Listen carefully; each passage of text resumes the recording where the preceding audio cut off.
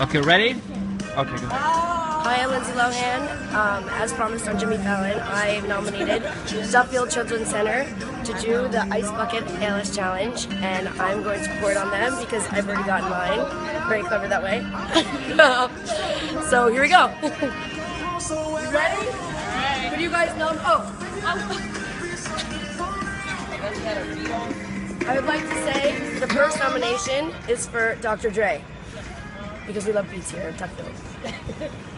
okay, who do you guys nominate? My name is Lisa Cuffy.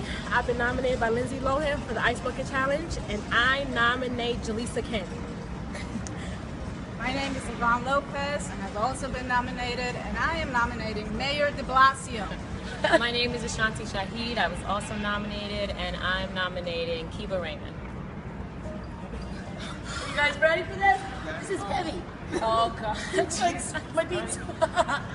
Wait, okay. Go!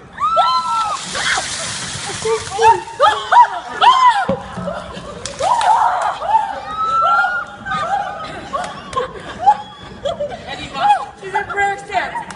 She's in prayer stance. You know what's messed up? I wasn't even recording.